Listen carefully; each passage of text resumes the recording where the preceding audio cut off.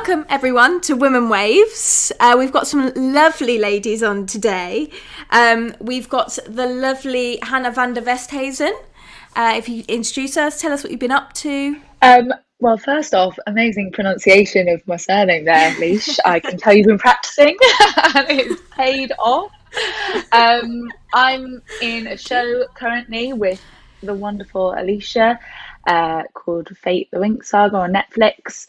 Um, and we filmed that about a year ago, and then obviously the apocalypse happened. So it's been a lot of kind of writing and trying to stay creative in that time, and and yeah, holding out until season two, I guess. Like trying to pick up and stay creative and maybe do a couple of other bits. And then we've also got um, the wonderful Shantae Scott. What have you been up to, Shantae? Hi, so um, you know I'm in secondary school, so I've still got online work to do. So online school is kind of what I do during the week. Um, I've recently set up a blog page on Instagram, which has oh, been wow. really exciting for me, and I feel like it gives me something to do. It gives me a sense of achievement as well because I love writing, and yeah, so that's been really fun. Um, I've also learnt how to do my own hair, so I also you know, when I get bored sometimes I just do my hair or I do my sister's hair or my mum's hair. Um, so yeah, it's been really fun getting to like learn new skills. Amazing. What's your blog about? Um, so I'm gonna make it about the life of a teenager, basically the um, struggles that teenagers go through. Um, you know, secondary school life, things that happen at school, and so yeah, mostly about young people. Oh, I wish I had that when I was at school. I needed, I definitely needed a guide when I was going through school for sure. And and finally, we have the wonderful Grace Veenman. Tell us about yourself, what you've been up to. Tell us about the Girls Network. I am Grace, and I am a network manager in London at the Girls Network. So, um, at the Girls Network, our mission is to inspire and empower girls, just like Shantae, by connecting them up to a professional um, mentor who is in um, the working world. And I have the privilege of working directly with the girls. So I work in over we in London. We work with over 20 schools in London and um, over about 450 girls every year. So I myself work with about 150 of those, and it's just such a privilege to as you just heard from Shantae, hear these incredible ideas that these young women have, and then to pair them with equally incredible women, and just to see you know how much potential there can be with these relationships that they develop over the course of a year. So it's yeah, it's a brilliant job that I have, and um, yeah, great to be here with Shantae as well. Yeah, that sounds amazing. So, question: If Shantae decided that she wanted to, instead of um, do this blog, she then wanted to become a business lady and do accounting. Um, would you pair her up with someone different to the person she was already paired up with? Often the relationships that we kind of the matches that we make aren't always down to the industry that the mentor works in. So obviously that is great if the mentor works in the industry that the girl's interested in. But as we know kind of goals change ambitions change as we learn and grow new skills. And um, what we really encourage our mentors to do and i know they're really brilliant at this is actually make connections for the girls. So help them bring up like build their own network. So say for example if shantae tomorrow said you know what? I really want to explore a career in the nhs well, then her mentor could kind of dip into our network of really fantastic women, find a woman who works yeah. in the NHS, and then they could have a conversation together. Um, and I think it's a really nice way just to show the girls that it's okay to change your mind and, you know, there's no kind of fixed path. And we actually encourage our mentors to, you know, show the girls beyond their own career and really just open their eyes to some different pathways. Um, and Shantae, did you do this with your mentor? You met up with another another woman? Um, yeah, so we went to the Ivy Cafe where she introduced me to a journalist called Hannah Betts. Um, so it was really interesting to meet her, and she talked about how she got to that position that she's in now. Um, I know that she writes for the Times and the Telegraph. Um, so she also gave me one of the articles that she wrote. She gave me some of her newspapers that she's written in. Um, so yeah, it was really interesting to meet her. Amazing. And did that inspire you to make the blog? I did have a blog um, a while before I actually came into the girls networking program, um, but I kind of stopped, or I felt like, oh, there's no point because nobody's going to read it or nobody be interested. And when I got into the program and I met my mentor, she kind of gave me the confidence to be able to make the blog and she also has a blog as well so she knew what she could help me with and how I could like lay it out as well so I kind of think it was a confidence thing and that's why I felt more empowered to make the blog It's amazing. How did you first hear about the Girls Network? Um, so from school, I kind of got picked. A group of girls got picked for who they would think would be right for this program, and it was also my best friend who's also in the girls networking program who kind of convinced me. Because when I first got the letter, I thought I didn't really I wasn't really interested. I just thought this is something the school's doing for me. I didn't really remember that I had received the letter. And then um, my best friend was like, Shantae, I think it'd be really good for you. You know, you're always talking about your future and new experiences. I think this would be really, really good for you. So then I filled out the form and yeah, I went and it turned out to be great. That's amazing. With your blog writing, do you do other types of writing as well? So, uh, did you say that you're into poems? Um, yeah, so I love writing. I think ever since I could write, I've wanted to write. Like it's just been something I'm so passionate about. Um, I remember not as much now, but I I write poems, songs, stories, anything. Whenever I could write, I would just write. And obviously, coming into secondary school, I think with English, because that's my favorite subject, there's more of a structure to your writing, and I feel like sometimes it can take away a bit of your creativity because mm. in primary school it's like you could write about anything you wanted but I still keep it up and the blog obviously helps me to keep writing. I still write poems when sometimes I want to get my feelings down or express my feelings onto paper. So yeah, I still write poems sometimes. I still try to write stories. I think sometimes I just have less time because of school, mm. but it's still something that I'm really passionate about. Oh, I love it. Hannah, are you still writing? Yeah, no, I am. I also kind of similarly when I was at school, like I wrote a bit, but I think it's I was just listening then. It was so nice to to hear because when I was younger, it kind of wasn't uh, celebrated to think about your future. I feel like it wasn't particularly cool to have interests outside of you know just your social life. Um, and I really feel like that's a shift that's happened since since I was in school. So first off, that makes me really really happy. Um, and second of all, like I really relate with uh, finding it helpful to have structure, whether that's you know just being in a class, like, you know, if you're still in school or if you're taking a class outside of that, um, or even just having a specific project. Like sometimes I'm like, I'm going to write a book today. You know what? It's a collection of poems now. Oh, look, it's a feature film. And I'm like, I need to stick to one thing.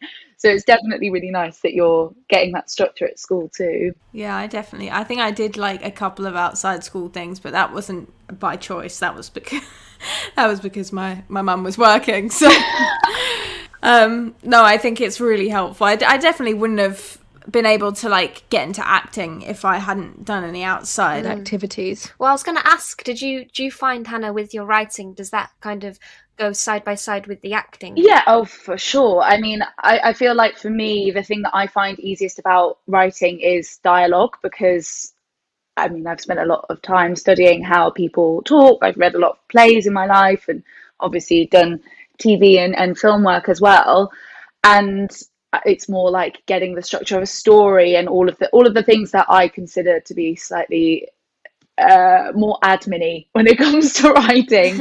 um, but also like when I write, it's because I'm angry about something or I want to play a part that otherwise I am not finding. Mm. Um, I recently had this hang up of being like, I don't know how I'm going to do it, but I need to write something about like an utterly despicable woman who is so irredeemable because we've seen that in men like um, American Psycho, you know? Mm. I want the female version of that. I read a really great book called Boy Parts by Eliza Clark, and she's like such a despicable character, uh, female and I was like, "Where's that in in telly? Like everyone's so redeemable, and yeah. it, those are the sort of things that make me mm. want to write."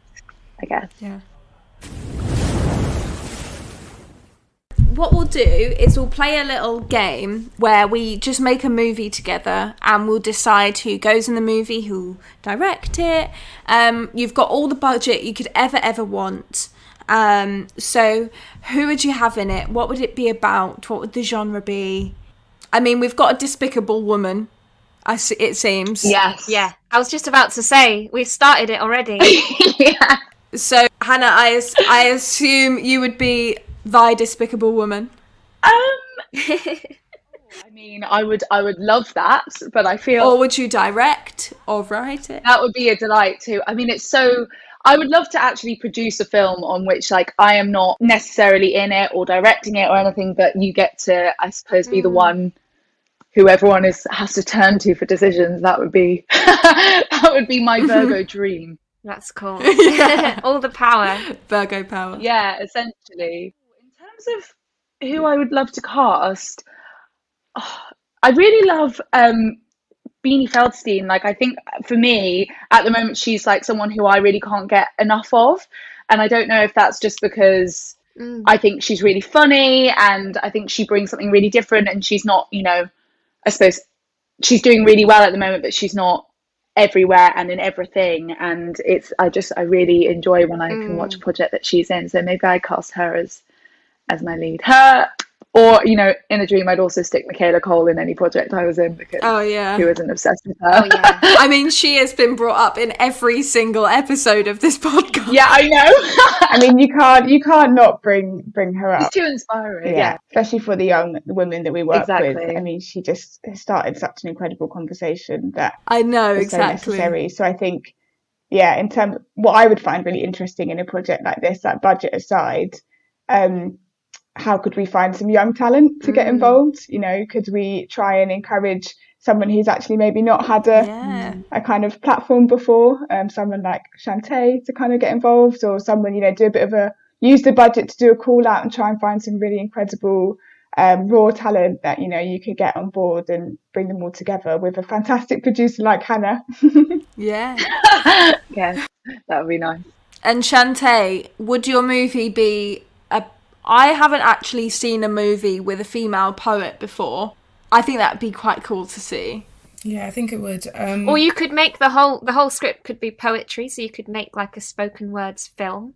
I think um one of the like I watched a play Hamilton. I watched that, Oh, and yeah. obviously it's just two hours of singing. So the storyline is just songs, and I think that was really really cool. I was I thought I was gonna be a bit like, oh, am I gonna fall asleep? Is this gonna be too annoying? But it was really really cool. The storyline it was quite modern as well.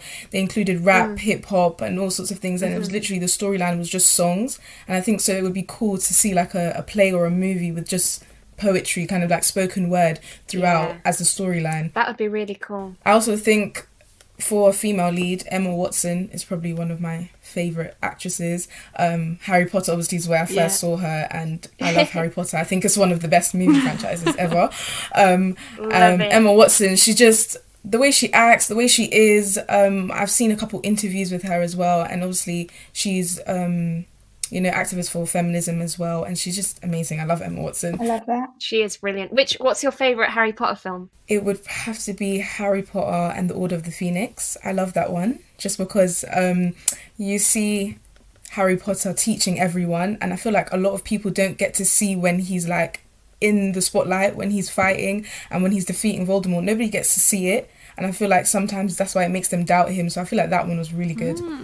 That was a good one. It gets like quite a lot more darker, doesn't it, as they go on? So like when you compare the last film to the first film, it's like a completely different genre. Yeah. I know someone who just wrote um, an essay on uh, feminism in Harry Potter. Oh, Yeah, and they were like, it's it's crazy because there's a lot of females who are just like the typical female who's upset, like moaning Myrtle, Yeah. and even when you first see um, Professor McGonagall, she's like crying or something. So there was a, there was a lot of that. Um, I thought it was really interesting. Yeah, I suppose it's it's interesting as well around like feminism that even comes from J.K. Rowling with everything that's happened with her uh, and Yeah. what she has to say about trans women. And I think it's really empowering with Emma Watson and a lot of the other members of the cast how they've come forward and been like, even though this has changed my life, as it definitely, you know, Shantae, I'm assuming it's changed yours, it definitely changed mine. You know, that can still exist and I can still disagree with the views of the the person who created it. Um, because I think it's got so many brilliant redeeming qualities, Yeah. even though that is something that, you know, I'm pretty sure all of us will disagree with. Mm-hmm. yeah. Okay, so we've got two movies going on. Budget is off the scales. Hannah's producing. Shantae is in thy movie doing spoken word. Or, Shantae, would you have written it? Ooh, Because you write poetry as well as maybe you could just do both, to be honest. yeah. yeah, I could do both. I think I, I think I could pull that off. I think I could do it. Do you reckon we could have this this um, character that you were saying, Hannah, in the spoken word, doing spoken word. I'm here for that. 100%. I also love Hamilton. I think it's such a wonderful um like celebration of of well, I mean, obviously something that's so old school. Well, not old school, literally from from, from like is it the 80s, 1800? Yeah. Yeah, and and brought together with such like modern, brilliant music that in a similar sort of fashion, it sounds very like spoken word Shakespeare esque, and bring it in with Yeah. some some modern new talent and stuff. That sounds fantastic. I'll be there for that. Great. Shall we pick it up next week? We'll start doing it next week and we'll Yeah. we'll get it going. This sounds so good. Please do. I can put the call out out and amongst all our girls. They're, they're going to come Amazing. forward. We're going to get some great like photographers. Fantastic. You we love to see it. So, Hannah, what is the funniest experience you've ever had on set? Because you, you Oh, you've been on set a couple of times now. Yes, yes, just a few. Um, the funniest experience I've ever had on set. Uh, probably. Oh gosh, I imagine there was a lot when when we were filming uh for Fate. A lot of the time, because we got on really, really well, it was very hard not to corpse and not to to catch each other's eyes and make each other laugh, especially when it was things like imagining an epic transformation that was actually just like a tennis ball on a stick. And i could just feel like people standing near to me like shaking. And you're so desperately trying to be professional because you know amazing opportunities and you want to be the best and work really hard. Um and you and it just makes trying not to laugh so much worse Yeah, yeah. Yeah. It's just it's so like once you get a good cast, I think it's so much nicer, um, and you just have the best Yeah. time. It's just like being in a family. Totally. And the chemistry as well, you can't account for. Like, I think there's so much in that. If I ever was doing a show, like creating a show, I would love to have the opportunity, you know, like they did with Friends and like they did with, with us actually, where we had a two week rehearsal period to really get to know each other and build that natural chemistry. Um, and obviously, that's not always going to be there for everyone, but if you can find that, that's something you can really kind of milk. And it's what I think makes projects so special. Like even in romance as well, when the romance is real, you can you can just feel it a lot more. Yeah, it's so nice. It's so so nice. And Shantae, how did you start writing poems? What what kind of poems do you write? Oh wow! It's because it started from primary school. I know that we did creative writing, and whenever the teacher says, you know, you're going to write a poem today, I was always so excited. Um, my personal poems are usually about life, basically. Um, sometimes about how I'm feeling at the moment, or I remember I was, I think it was about two years ago. I was in English. I was just in an English class in school, and um, I had finished all my work, and the teacher had just said, "Oh." you're just gonna have to wait for everyone else to finish and i just i had a scrap piece of paper and i just started writing a poem because that's what i do when i'm bored and um i found it like a couple months ago and i realized that oh this is actually quite a good poem so i wrote it down properly i edited it added to it and it just made me think like even when i wasn't really concentrating or i wasn't really you know trying to make a really good poem it kind of just came out of me and that's when i knew like or I confirmed that writing is just something I'm really passionate about, and even when I'm not thinking about it, I still have this passion for writing all the time. Yeah.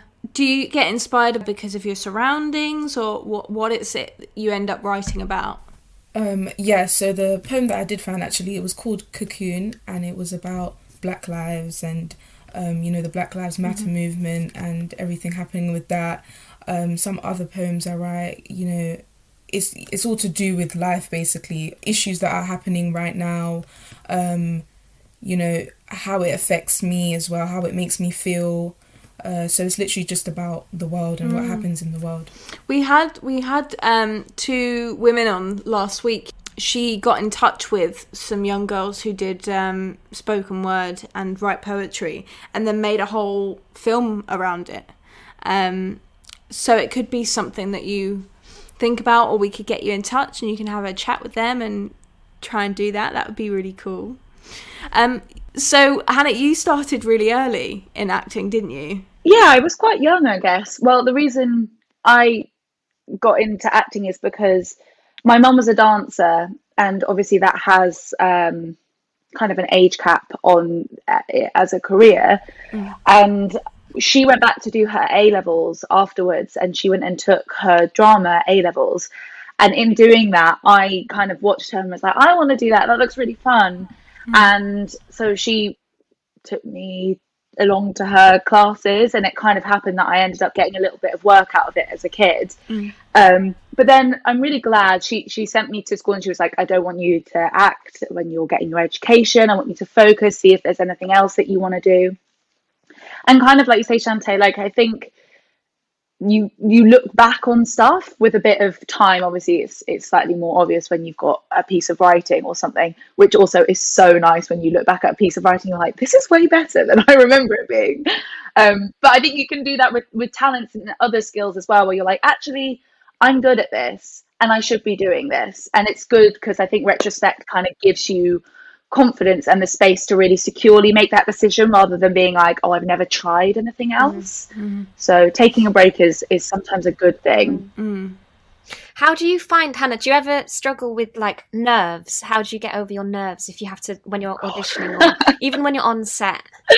um oh Bramwell, I struggle terribly with nerves I think first off I probably am I'm I'm not great at, at, at expressing when I need help kind of as a person Mm. but my advice would always be to ask for help whether that's you know because you're feeling nervous or or just anything that might be coming up for you in in any moment I guess but um in terms of in terms of nerves I think it's probably imposter syndrome and and those sort of things that that get you and Mm. It's that thing of just affirming to yourself like what have i done? What are the things that i know to be true? I know i worked really hard. I know i got this audition and i nailed it and they hired me.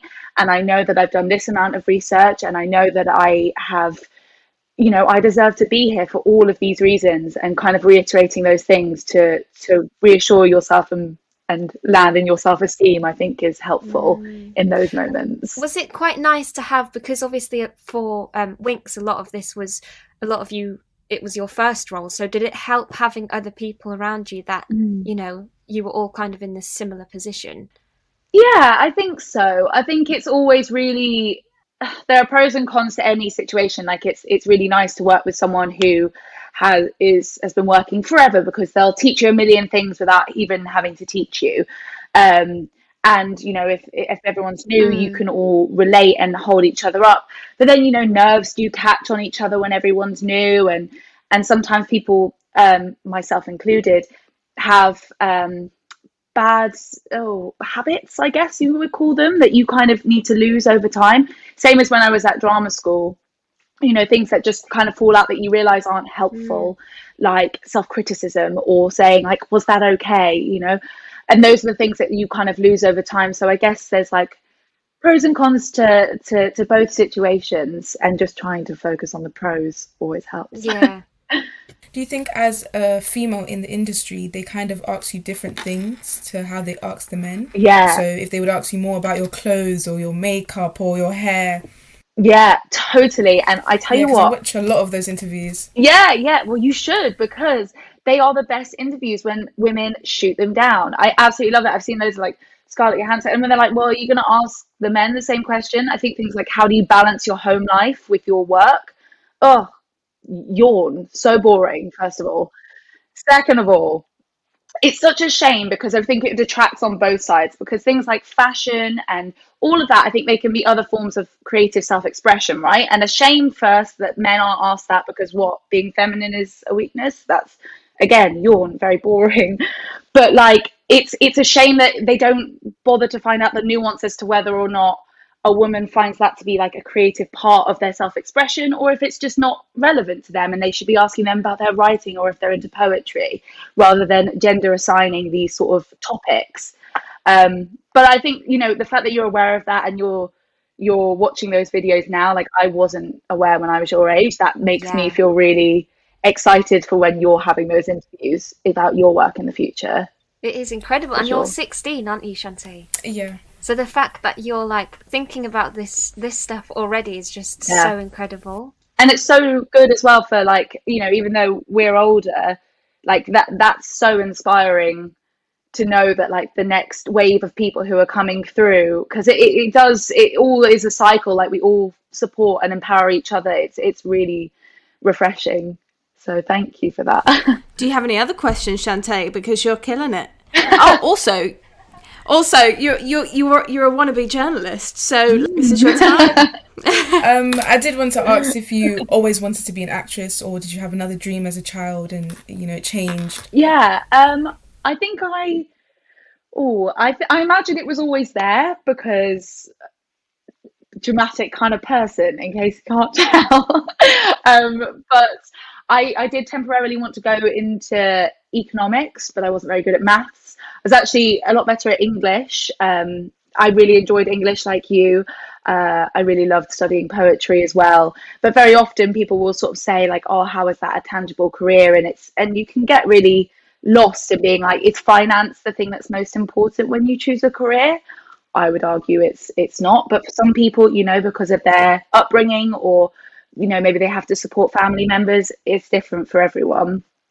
But I kind of ended up being like, acting is the thing that I'm good at and obviously you know it's hard when you go oh i did it by default but i think when you're like this is this is what i'm meant to do and i'm really unhappy if i don't do this thing um so mm-hmm. yeah that's that's probably yeah. why i now do it same same would you ever would you want to get into acting Shantae um it's oh it's like when i was younger i i wanted to be everything like um when i would i would you know i'd just be using my imagination. I would write down actress slash author slash loads of other things. Um and it was on my mind because obviously everyone everyone told me that I was dramatic. Oh you to be an actress Shantae because you're so dramatic. And, I can relate. Um I don't know. I feel like it's something that I wouldn't mind like if there was an opportunity for me I feel like I wouldn't mind exploring it. Um you know I feel like obviously and that's another question that I should ask as well like you know the pitfalls that come with being famous or being in the public eye because um, as I grew up I started to understand more the difficulties of being you know famous and being popular and being in the public eye you know. It, there's a lot of hardships to it as well you know the paparazzi taking pictures and people like propaganda you know people kind of making up things or exaggerating things in the press or you know. So you know, I had to learn all those things and kind of make that decision for myself. Like, if I was going to go into that area or if I was going to be, you know, in the public eye, how I would act and how I would face all those difficulties as well. But mm. it's something that I'd be open to, I think. I was going to ask, like, if if you, because that's such an interesting thing, and I think about this all the time. You know, just being an actor and watching other actors be scrutinized for things which I don't think are relevant or important, like their mm. size or their beauty or whatever but when you think about that, you know, in a large concept, do you think that's still like, I suppose, building of your self esteem to to to be placed not on those things? Do you kind of practice that at school in in terms of like your friendship groups and stuff like that? I think personally as well like it's something that i think about because you know i i watch a lot of tv i watch, watch a lot of movies i have a lot of you know favorite actresses and things and i kind of look at all of them and how they react to you know mean comments online and stuff like that. And in interviews like I've watched um, someone who I love you know I I watched Disney Channel as a, a child and Zendaya was someone I really loved because she was very you know even when she became really popular really famous she kind of humbled herself. And I like the way that she um responded to mean tweets and she kind of just didn't care and she had to brush it off. But I think that is something you have to learn to do because a lot of people can't be like that. And the way that people are mean to celebrities or comment on their pictures, I that's like it's really hard to get that. And you know you have millions of followers and you have so many people saying you know you oh you look big in this or you know you don't look pretty or you filter or all sorts of things. And so it's really really hard. And i feel like your mindset you have to really drill it into yourself to say it doesn't matter or i can do this and things like that. So it's something that i have to think about that if i was ever have to face that how would i react to it? Mm. or you know how would i have to present myself? Do you personally feel this way or do you have conversations about this with your pals? Like hannah said like do you talk about it at school? Is it something? Um yeah you know me and my the friendship group i have i really like my friendship group because we can have these type of discussions.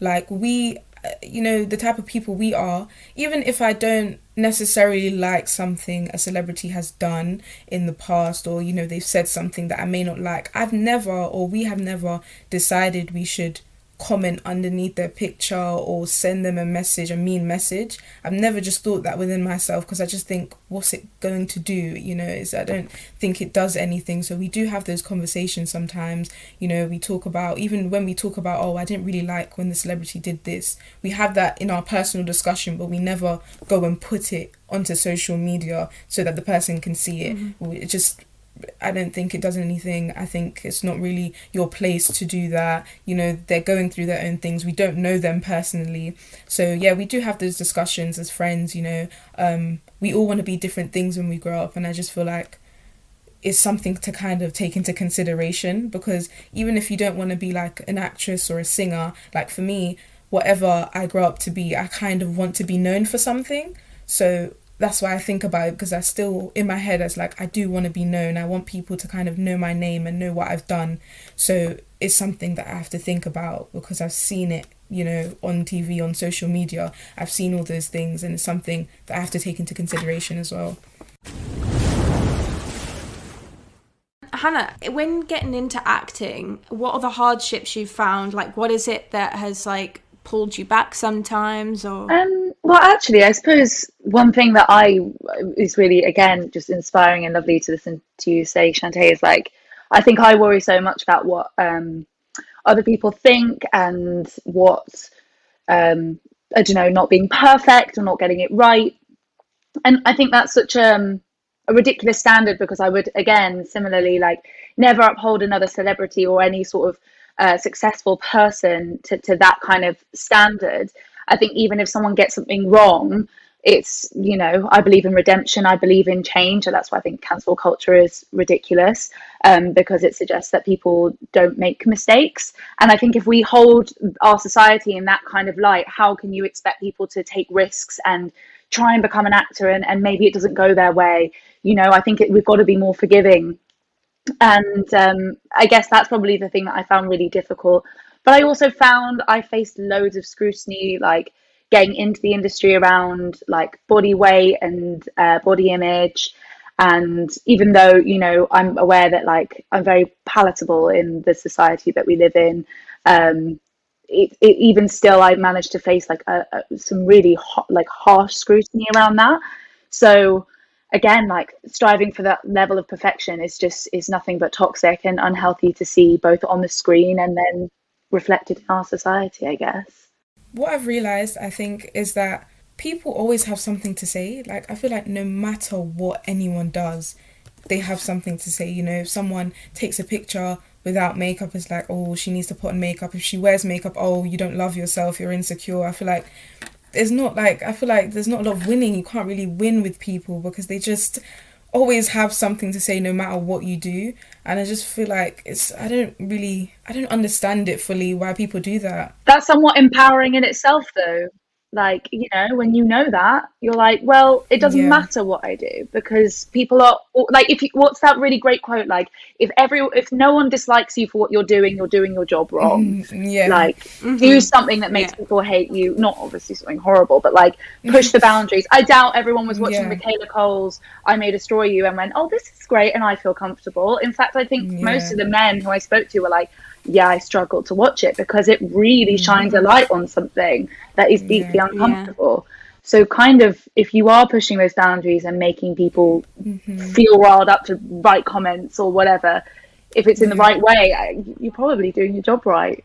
Yeah, absolutely. Mm-hmm. And I think it's like pushing through those comments and just doing what what you want to do anyway because you're you're all such creative people and I think, you know, that's the focus is your work and the stuff that you're able to create and all that stuff where you know there, there is always going to be things that people have to say mm-hmm. and not everyone is going to like what you do but it's mm-hmm. deciding to not let that stop you and doing it anyway especially I think inspiring, especially for any girls that are listening in, um, because you know we see perfectionism from such a young age. And I'm sure Shantae, um, you'll have experienced that kind of at a young age at school, and it's just really refreshing to hear, especially you, Hannah, talk about, and also Shantae. I'd love you to be my mentor. What you're sharing is yeah. so inspiring to hear that actually, you know, learning so much right now from you in terms of what you know, it's just important to stay true to yourself. And it's okay if some people disagree with that. And what, you know, an empowering message for some of the young women who might be listening in. It's so amazing, especially because we do have all these social platforms that I didn't have, or Hannah, yourself, Branwen, we, Grace, didn't have when we were younger.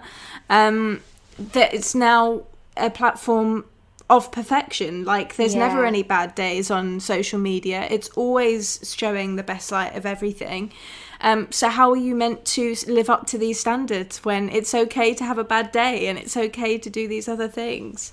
I think it's amazing that you have this um, mind at the moment, Shantae, where you know that um, you this awareness. You, yeah, this awareness. Yeah. I think it's amazing. I was going to ask Shantae how, because like Elisha said, when we when we were your age, we didn't have these extra pressures that I do think, although there's a lot of good sides to social media, there is obviously a lot of, of like not so good stuff as well. So for someone that's, you know, still in school, how how do you find social media? Like how has that played a part in your life in school and like in general? I think it although I am on social media because it sounds weird for me to say that I dislike it, you know, I, I am mm. on it, but I kind of miss the mindset that I had, or a lot of us had when we were in primary school and I didn't have Snapchat, I didn't have Instagram, I didn't have, I had like a Blackberry or something where we played games on. It wasn't, there wasn't any of the social media. We didn't really take pictures. I remember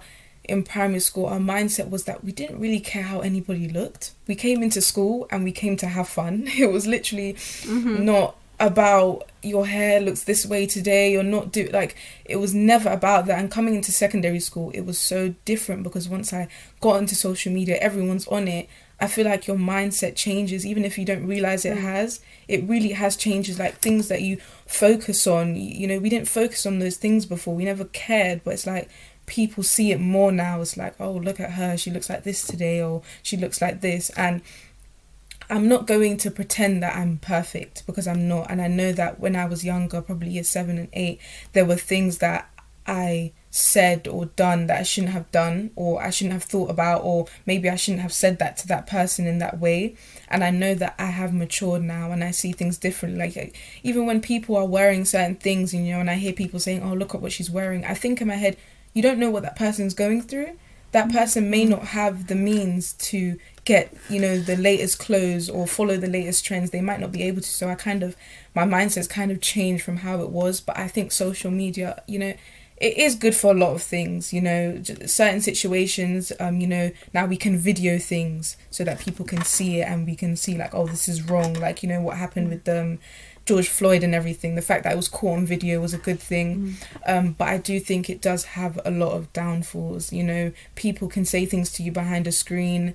Um, you know, like you said, it shows the the good sides of things. So everyone posts their best pictures, or you can even Photoshop your pictures and stuff like that. And I feel like mm. also fake news as well on social media. A lot of people, you know, a lot of people my age believe everything that they see on Snapchat or Instagram as soon as is posted and some things are exaggerated or some things are fake and for me i've like learned how to deal with social media in my own way um you know when i do see things it's like okay let me go and search this up let me go and ask my parents about it to you know see the right side of it or if it's true or not so that i'm not sucked yeah. in too much mm-hmm. into it um yeah during lockdown as well obviously i'm at home and it's like all i have is my phone kind of but I've tried to log out sometimes. There's there was like oh, two weeks where I said, okay, I'm gonna log out of my Snapchat account. I'm gonna log out of Instagram.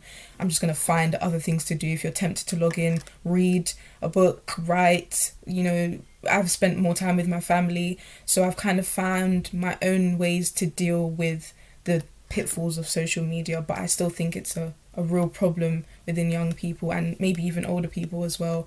So yeah, I've kind of developed my own method into dealing with it. That's so good to hear because, yeah, it, it, just wasn't as big of a thing for us, was it, when no. we were that age? So I think it sounds like you're really dealing with it, dealing with it, but like handling the situation of you know the downsides to it quite well. I was just going to say, which is amazing considering it's it's a tool to take your attention. Mm. So Um, it's amazing that you've decided not to give your attention Yeah. to it.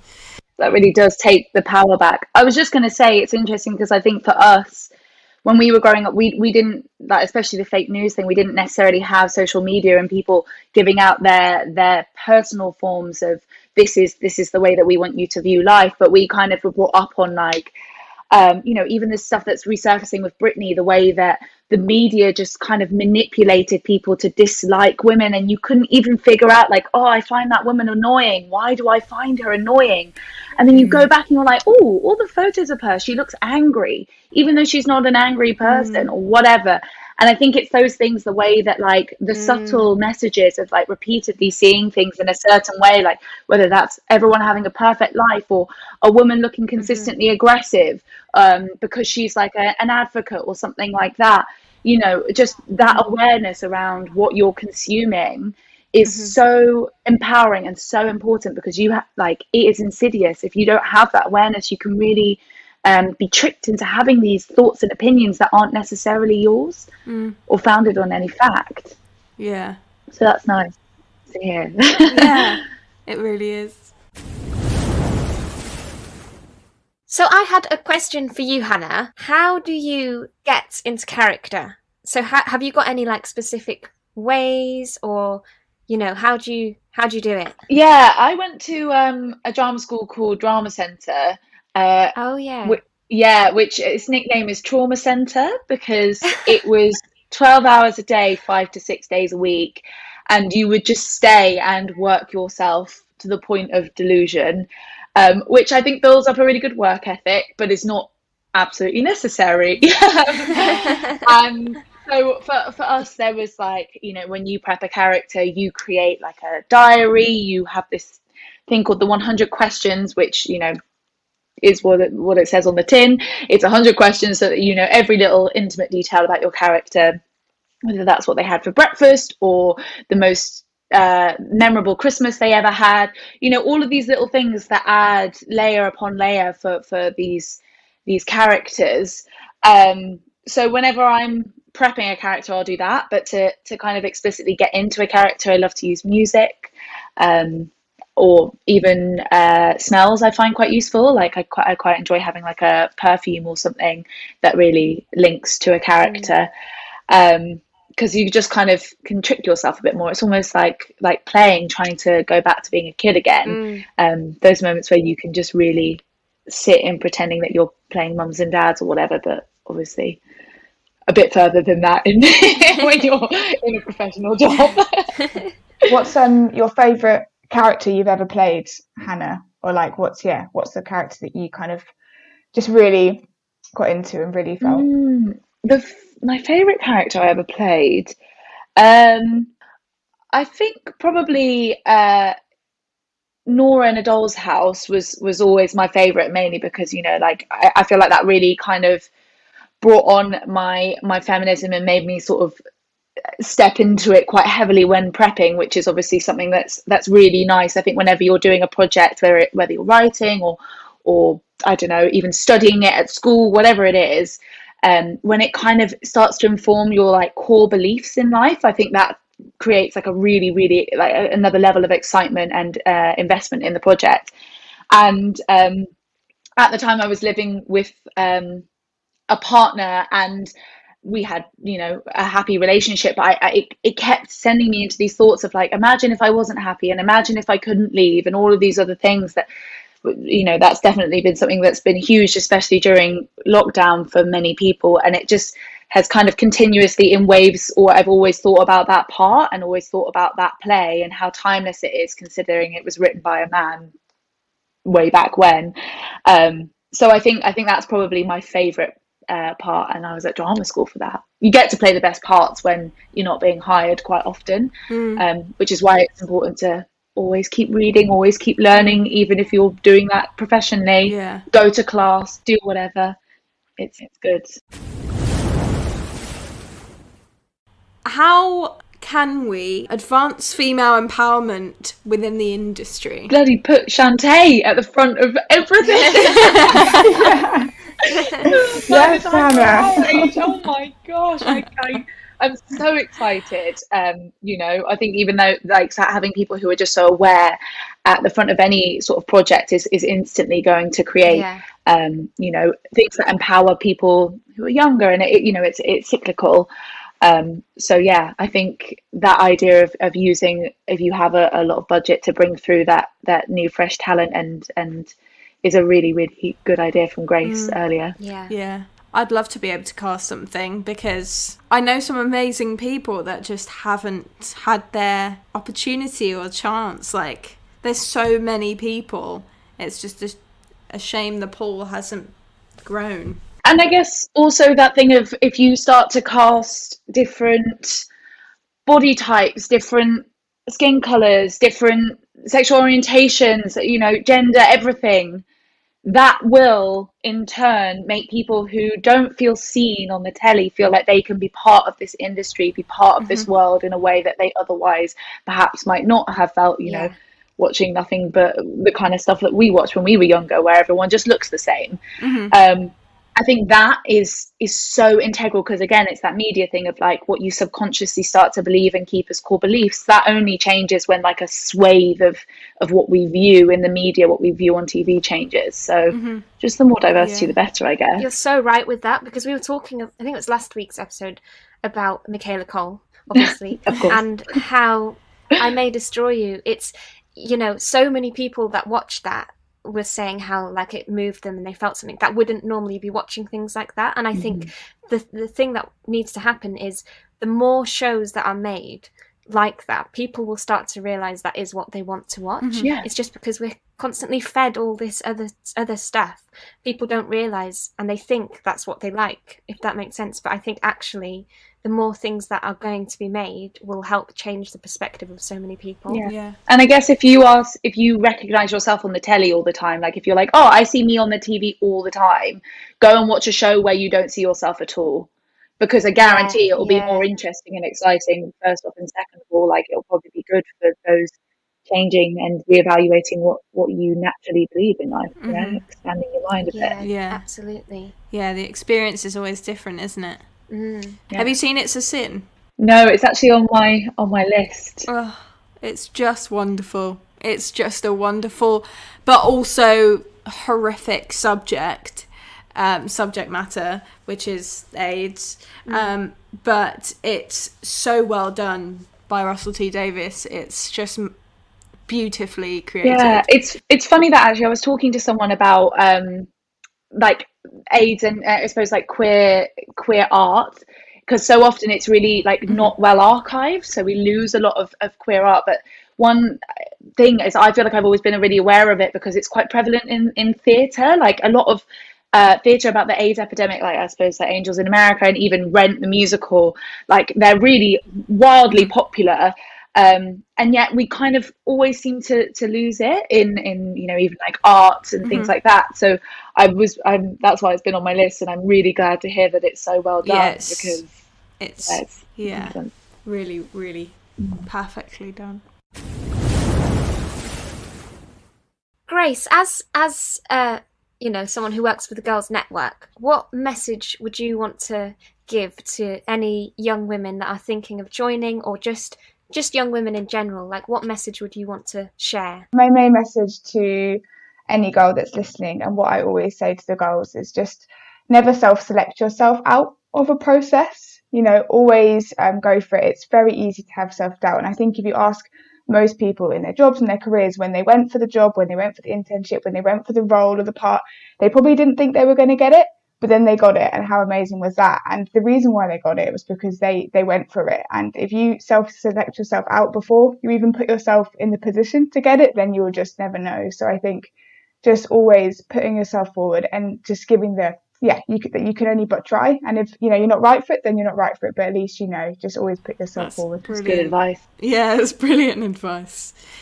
What advice would you give Shantae for anyone that's wanting to become a journalist or write a blog or go to the Girls Network or? I feel like one of the things that I learned as well and that other young girls can learn is that your age doesn't limit you. I feel like a lot of the times I thought that I'm too young to get these type of opportunities, or I, I wouldn't be able to do anything at this age. I have to wait until I'm an adult and so forth. And I feel like it, it's not true. I don't think it's true. I feel like any opportunity you get, and also to go out and look for opportunities as well. Sometimes they're not always going to come to you, and sometimes you have to go out. And for me, especially, I know that I want to try to expand my skills and have different experiences so that I can figure out what I like because I've always said that my dad says to me that you never know what you could enjoy, but if you never try it, how would you know that you enjoy it? So having those new experiences and just putting yourself out there,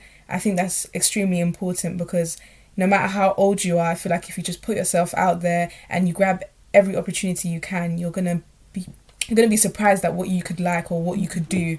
And i think that that's amazing. Love that. Mm. that's great and take prime minister. Yeah. Just take for prime minister i agree. Please. You do a better job than, than yes. the current government so. Hannah hannah what would you say? What what would you what advice would you give I actually love what Shantae said. I think that thing of being like, you just don't know if you're going to like something unless you try it. Um, I guess that the other thing that I would suggest is um, working out where you place your value and your self esteem. And like when you walk into a room and you go, you know, we've all been to parties where you go, I, I, I feel like everyone here really cares about the way that they look, and I feel like I'm not bringing much to it because that's not where I place my value or whatever, and being like, well, there is going to be a party where everyone cares about their politics and you know what? I'm brushed up on my politics so i'm going to bring so much to that. And just knowing that you want to surround yourself with people who have the same values as you and making sure that those values are kind of things that you can you can get yourself and are, tangible and don't fade over time um, just just trying to figure out what what brings you joy and is sustainable in in that regard. And then when you have those things i genuinely think you know people sending mean comments or or, or hurdles that you have to overcome uh, you you know your worth. So it becomes everything becomes a bit easier. Maybe you should both run yeah i'm like for, i'm voting. you two do it like a dream team. I'm i'm in. Oh, yeah. So brilliant well, thank you so much, everyone, for joining us today. It's been such a pleasure chatting to you all. Thank you. We're going to play Shantae reading one of her amazing poems, Cocoon, amazing. at the end of this episode. So keep listening. Thank you for having me. It was so lovely to meet you guys as well. Nice to meet all of you. And you. Have a fab day. Guys, that was a joy. You're all wonderful. You guys as well. Bye. Bye, guys. Bye. I see the world as a caterpillar. We haven't escaped from our cocoon. We need change and we need it soon. Progress is something we can't seem to hack. I shouldn't walk down the street in fear of being attacked. But you put a firmer grip on the trigger once you see I am black. I put my fist in the air to show I am proud. You put your hands over your ears because I'm just being loud. We fight for our rights against our ancestors' oppression. You say we are thugs, criminals, full of aggression. I say Black Lives Matter, no, I will not rest. You say all lives matter, to protest to my protest. Sigh. Living in a cocoon, we need change and we need it soon. We call ourselves a nation, however, black history isn't a part of our daily education. We know about Hitler, Shakespeare, and Boris. What about the others? What about Olive Morris? I'm only telling the honest truth and facts. You put a bullet in his head or a knee on his neck just because he's black. You see him in need and you lose your sight. Why? Because he isn't white? We are called monsters because of our anger and our rage. Well, we're just frustrated, so aren't we the monsters you made? We refuse to educate yourselves about our culture, background, but rock our braids. You see celebrities doing it and then culture appropriate. This country was rebuilt by the Windrush generation, and now they have to prove they are being refused their occupation and accommodation. I know we are blamed for our conditions. I know you're thinking it, that it's our fault we can't get jobs or have no food in our fridge, whilst you judge us from over your side, which I call white privilege. Her hair is out. It says straight, neat, and fun, whilst my afro screams scary, aggressive, and you couldn't get it done? You label me as dumb, but don't know I have to work twice as hard to earn half your sum. In a cocoon where diversity, equality, and acceptance have no room, people say, We are the least racist. But the least is more than we need. People say it isn't as bad as it seems, but we still haven't fulfilled Martin Luther's dream. Rosa Parks didn't get out of her seat, but we are still standing for the disrespect we receive. We cannot allow the world to be doomed. We need change. We need it soon. We cannot stay in this cocoon.